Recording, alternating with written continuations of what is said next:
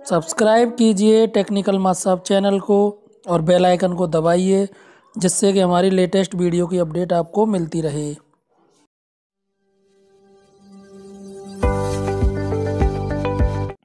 सभी शिक्षक साथियों को मेरा नमस्कार। साथियों, आपका एक बार फिर से स्वागत है आपके ही अपने YouTube चैनल टेक्निकल मासाब पर। साथियों, आज इस वीडियो में हम विज्ञान प्रशिक्षण के अंतर्गत कोशिका से अंग तक भाग, जंतुओं एवं पौधों में परिवहन भाग, प्रकाश एवं प्रकाशिक यंत्र भागों में पूछे गए सभी प्रश्नों को देखेंगे। तो हम प्रकाश संश्लेषण की क्रिया किस कोशिकांग में होती है? सेट्रोसोमे, लवक, रिक्तिका, माइट्रोकॉन्ड्रिया। तो इसका जो सही आंसर है, वह है लवक। प्रकाश संश्लेषण की क्रिया लवक में होती है।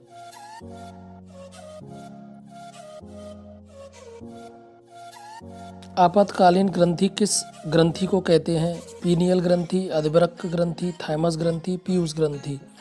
तो इसका सही आंसर है अधिवृक्क ग्रंथि। आपातकालीन ग्रंथि अधिवृक्क ग्रंथि को कहा जाता है।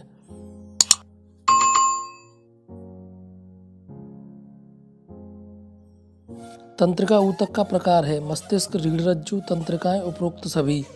तो यहाँ पर उपरोक्त सभी तंत्रिका ऊतक हैं।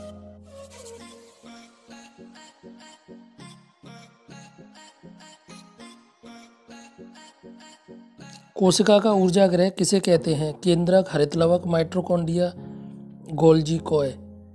तो इसका जो सही आंसर है वह है माइट्रोकोंडिया।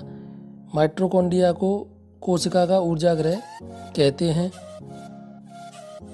तरल अवस्था में पाए जाने वाला ऊतक कौन सा है? अंतरालीय ऊतक अस्थि उपास्थि रुधिर। तो यहाँ पर सही आंसर है रुधिर। इंसुलिन हार्मोन किस ग्रंथि से स्रावित होता है? पीयूष ग्रंथि थायराइड ग्रंथि पीनियल ग्रंथि अग्नाशय। तो इसका सही आंसर है थायराइड ग्रंथि। इंसुलिन हार्मोन थायराइड ग्रंथि से स्रावित होता है। कोशिका का या, यातायात प्रबंधक किसे कहते हैं? माइट्रोकोन्डिया गोल्जी कोय केंद्रक हरितलवक। तो गोल्जी कोय इसका सही आंसर है। कोशिका का यातायात प्रबंधक गोल्जी होता है।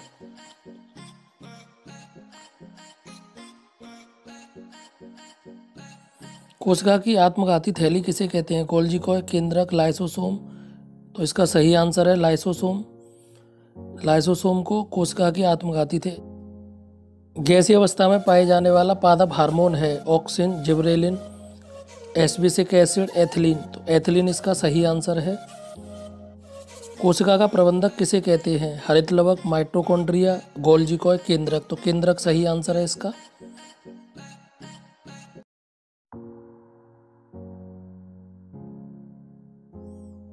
जंतुओं एवं पौधों में परिवहन।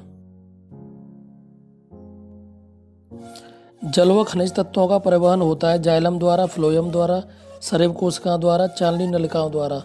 तो इसका सही आंसर है जाइलम द्वारा। पौधों में वायु का संवहन होता है, जाइलम द्वारा, बाहिकाओं द्वारा, स्टोमेटा द्वारा, फ्लोयम द्वारा। तो इसका सही आंसर है स्टोमेटा द्वारा। स्टेथोस्कोप नामक यंत्र की खोज करता थे Lamarck, Darwin linens Robert Hooke. तो लाइनेंस इसका सही आंसर है। हीमोग्लोबिन में पाया जाता है, आयरन, कॉपर तांबा निकिल।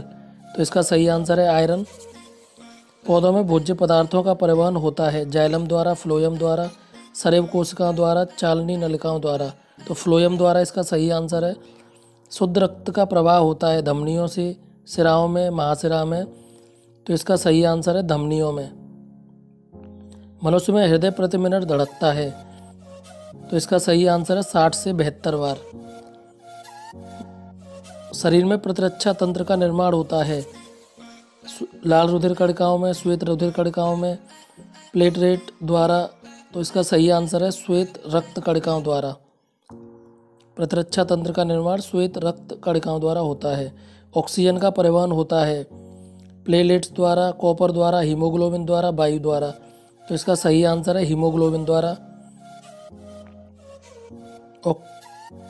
हृदय से रक्त को पूरे शरीर तक पहुँचाया जाता है। धमनियों द्वारा सिराओं द्वारा तो इसका सही आंसर है धमनियों द्वारा।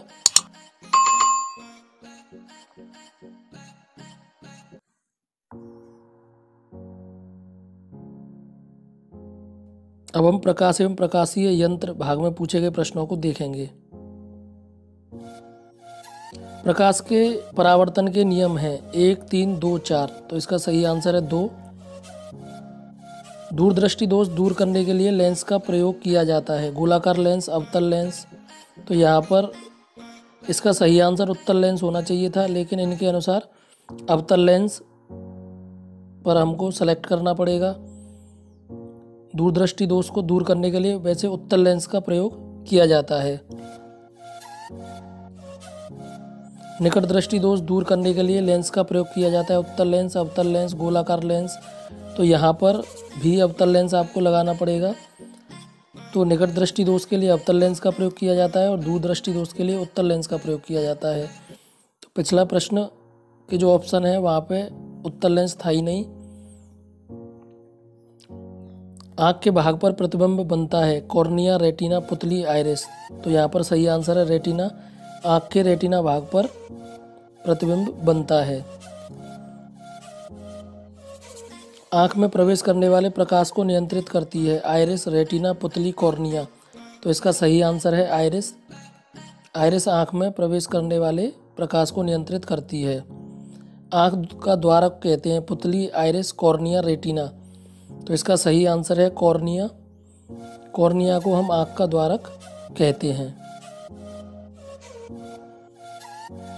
निम्नलिखित में से प्रकाशिक यंत्र नहीं है, मानव नेत्र, दूरदर्शी, सूक्ष्मदर्शी, पनडुब्बी। तो यहाँ पर सही आंसर है मानव नेत्र। जब प्रकाश की किरण विरल माध्यम से सघन माध्यम की ओर जाती है तो अविलंब से दूर हटती है, अविलंब की ओर झुकती है, वापस लौट जाती है, इनमें से कोई नहीं। तो यहाँ पर सही आंसर है अविलंब से दूर हटती है। किसी माध्यम में प्रकाश का गमन होता है, वृत्ताकार, सरल रेखीय, वक्रीय, परवलयाकार। तो यहाँ पर सही आंसर है सरल रेखीय किसी माध्यम में प्रकाश का गमन सरल रेखीय होता है। प्रकाश है ऊर्जा, कार्य, विद्युत धारा, घर्षण। तो प्रकाश एक ऊर्जा है